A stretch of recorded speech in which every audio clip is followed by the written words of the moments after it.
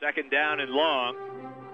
Jamestown with the football. Looks like Sisson wants to change the play at the line. Empty backfield. No Kinsey back there with Sisson. Sisson on a straight drop. Fires over the middle. He's got him in. Panabianco at midfield. 45-40, 35-30. Racing for the corner. He's got one man to beat. And that one man, does he catch him? No. Touchdown. Touchdown, Jamestown. Two plays, 80 yards, six points. That's what I'm talking about. Sisson looks to the sideline. Gets the signal. Changes the play. Goes to the line. Hollingsworth's in the backfield. Here's the straight drop. Sisson. Got time. Got time. Got time. Now he rolls. And he breaks out. Stays on his feet. He'll stay on his feet. He's into the open field. He's got the first down. He's at the 35 and finally tripped up inside the 30.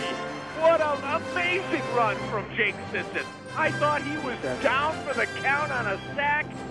Broke three tackles and flushed it all the way down to the 28-yard line. Talk about making plays. First and 10 Red Raiders at the 31. Sisson on a rollout. Bootleg keeper. He's at the 25 the 20. Cuts it up. 15, 10. Trying to walk Touchdown. it in. Touchdown, Jake Sisson. 31 yards to dirt. Red Raiders up by two touchdowns. 13 to nothing. 8.59 left to go before intermission. This is Ralph Wilson Stadium. It's the big house, and it's the big game with the bright lights. The Double A final. Second and 10 on the incompletion. Jamestown at the Frontier 46. Sisson out of the gun.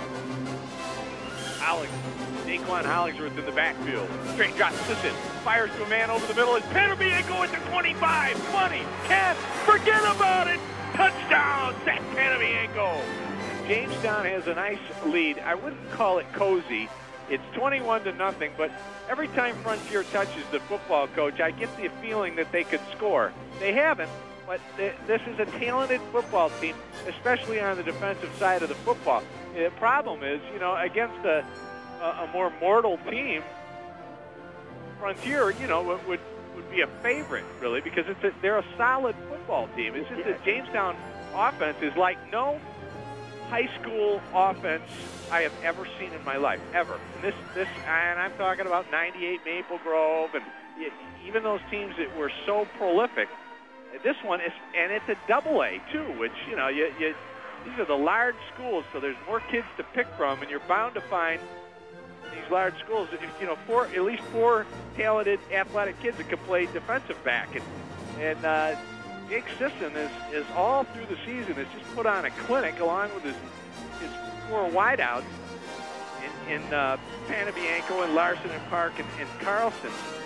It's been uh, just a bunch of fun to watch this year. Jamestown offense is just it's like nothing you normally see in a, in a high school football offense. You just don't see something this this intense, this precise, this fast, and certainly not this pro. So Sisson now 33 yard, uh, 32 passing touchdowns to go along with uh, my my says 19 rushing touchdowns. I thought I heard you say 20, but it, in any case. Well, he scored one tonight rushing. Though I have So, I have him for 20. 19 coming in. Yeah, okay, now, now 20 total. So Yeah.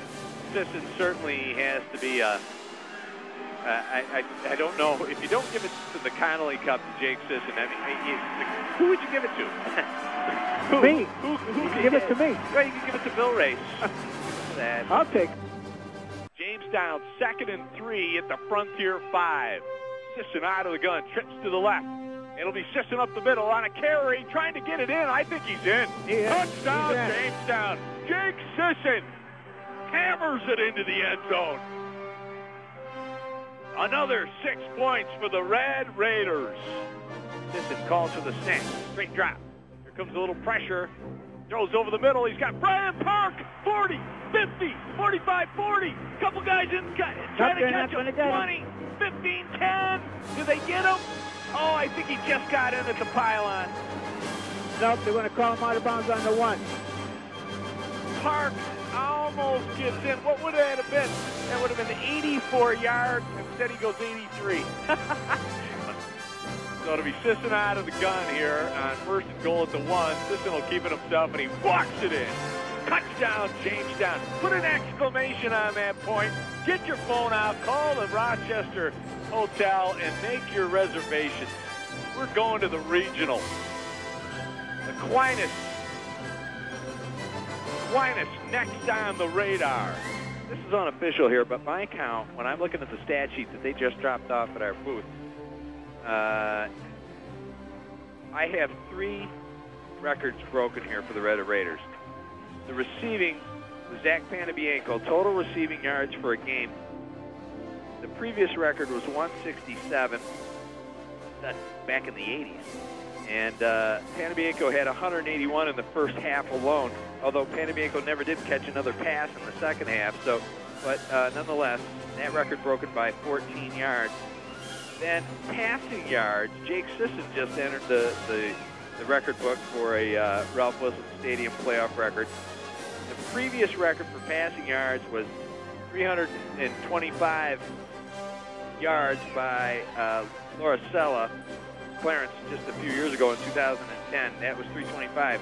Sisson today, we have him at 402.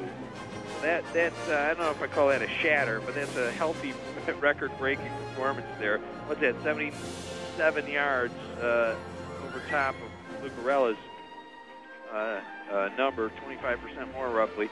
And then total yards for a team, previous record 546 yards, and uh, Jamestown here tonight at 609. So a team record and, and uh, a couple of individual records, passing yards and receiving yards, Sisson and Panabianco respectively. So off to Rochester and the regional, but on Saturday night, it'll be the Red Raiders against Aquinas, the number one team in the state.